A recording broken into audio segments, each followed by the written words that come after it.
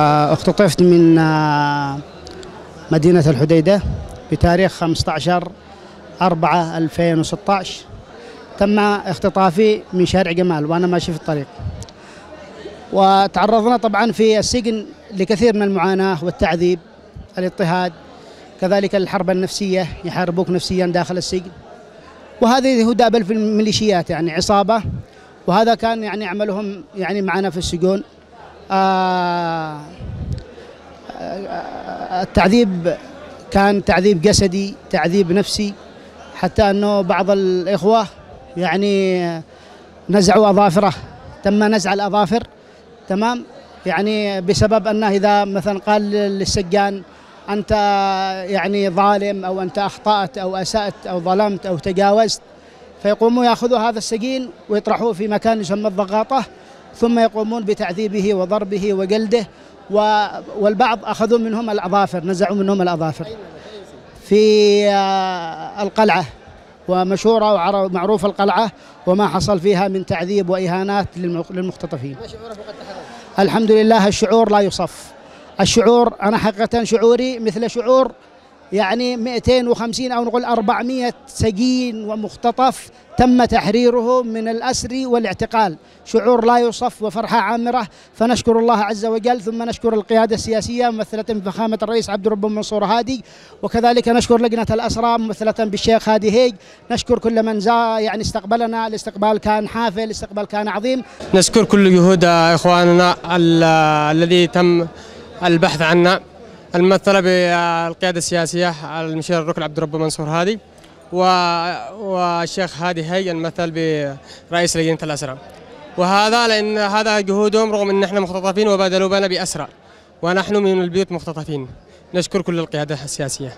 اختطفونا من مديرية جبل راس وعندما وأنا قبل العرس بأربعة أيام قبل خمسة أيام كنت منسق آه، آه، يعني شعرس آه، السج- سجنت في آه، في السجن آه، 1003 أيام و15 ساعة وأنا في السجن. وأنا كنت أخذوني من الفرحة وإلى كآبة السجن. ولكن أحمد الله ونشكره على هذه الفرحة العظيمة الذي أخرجنا الله بعز من السجن. بعد أن كنا في الهون وفي وفي التعذيب أخرجنا الله بعزة وكرامة من هذا السجن.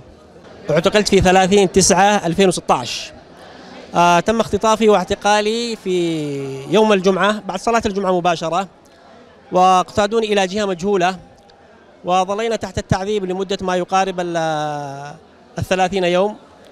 والحمد لله من الله علينا بهذه ال- ال- ال- المعجزة نعتبرها معجزة في حياتنا أن الله سبحانه وتعالى أفرج عنا وخرجنا من هذه السجون الظالم أهلها. تم اعتقالي من البيت وجلست آه، قريب الخمس سنوات إلى الآن معتقل. وكان المعاملة ما يعلم إلا الله بمعاملتهم. إخفاء وتعذيب. حتى العلاج لا يأتيك العلاج إلا قد يعني قد جاك مرض آخر. والحمد لله على كل حال. الحمد لله الذي نجانا منهم. أختطفوني في يوم الاثنين السادس من الثامن من أغسطس.